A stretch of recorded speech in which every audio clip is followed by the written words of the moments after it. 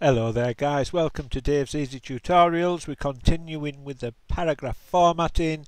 This is the bullets and numbering. Now I've got a document open and I've got one down to six in words. I go to the Home tab, I go to the paragraph group and this button here will give me the bullets and this little button would give me the numbering. Now I'll do the bullets first so I just literally drop that down there and I can pick any one of these characters and use them as a bullet. As you can see in the preview down here, keep your live previews on, there's the bullets look and you can take, oh they're quite nice, oh yes I like them and you just go through them and pick the ones that you want. If we let's say for instance pick quite a fancy one. These are picture bullets. That is it. But notice that it's when you put bullets number on it automatically moves them indent markers.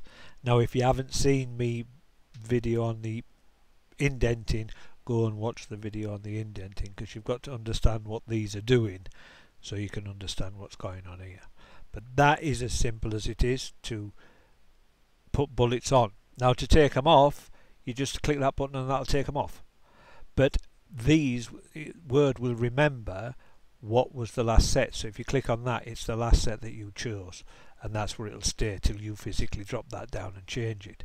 If you want a custom and you want to change uh, the bullet you define new bullet and then you come down here and this is the bullet you can use the pictures and what that'll do that'll go up and get all the different pictures that you can use.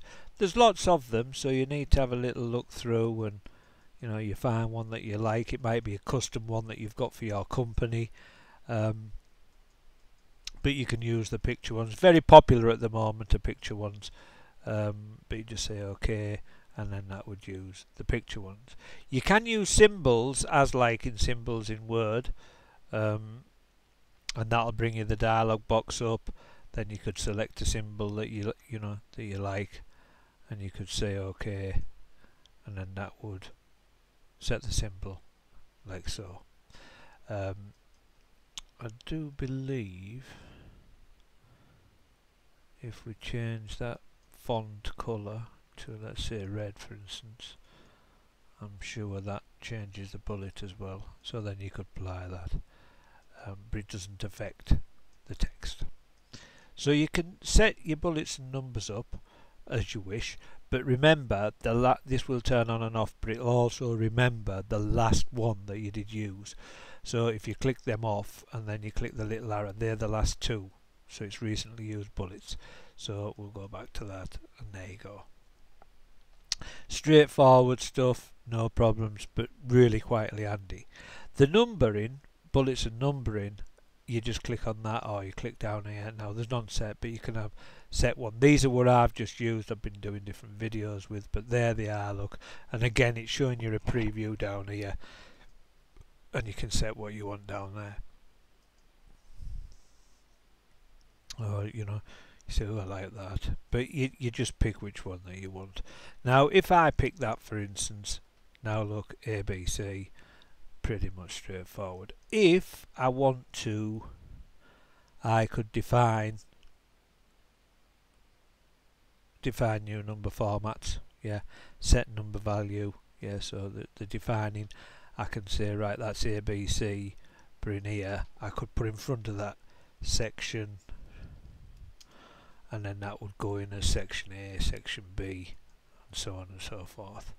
Yeah, real powerful um, customization tools on here. Yeah I'll just put it back to that I would go back. So you've got a lot you can play with here you can do quite a lot yeah. Um, change the value number value you can you know start from new list continue from previous list that's if you've got two paragraphs of it and you can start it from A, B, C or you might say right I've done F so now G, H, I and so on and so forth real straightforward stuff. Um, if we come down to define the number, oh, that's the list. it'll go A small a I 1 A I 1 that's the follower it's multi multi-level numbering basically that's what that's all about now this one is your multi-level bullets okay? And what this works on this does work on the um, sections that if you've got multi-levels on as you indent them in they'll change from 1 1.1 1.11 1.2 and so on and so forth. So literally these are multi-level lists yeah?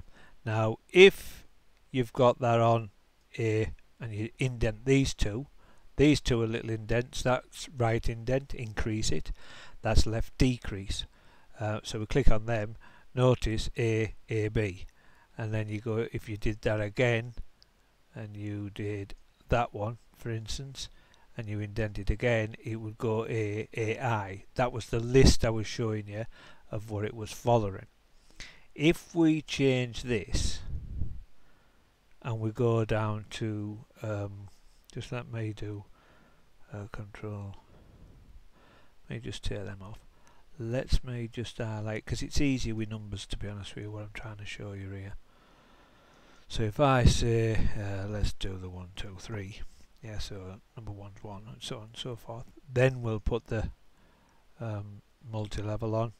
Yeah one one of one. Yeah. Now what happens is here when you now highlight them like so and you indent them in there notice. We've got one is the main one then we've got one of one one of two. Then you've got one of three one of four and so on and so forth. These are great multi-level. Yeah now there one one of one. Each time I indent it notice that I am getting a different number and if I re-promoted that would be one one of one and then two. So literally you can play with what you want but that is what you call your multi-level numbering. And you only get them multi-levels when you're actually using the indent markers and, you, and you're indenting in on them levels.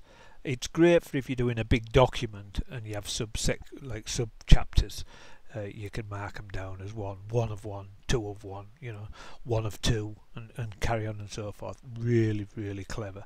Now, I decrease them indents, notice it just goes back to the straightforward number formatting, one down to six. And again, if I don't want them, I just tick on that, and it just disappears. Well, sorry, if I highlight all of them, then click on that. It just literally takes them on and off.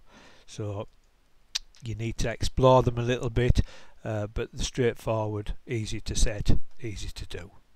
Thank you very much for your time. I hope you found it informative. Don't forget to check my other videos out.